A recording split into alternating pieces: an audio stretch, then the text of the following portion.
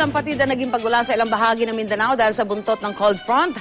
Nagdulot ito ng flash flood dahil sa pag-apaw ng ilang ilog gaya ng Davao River at Carmen River.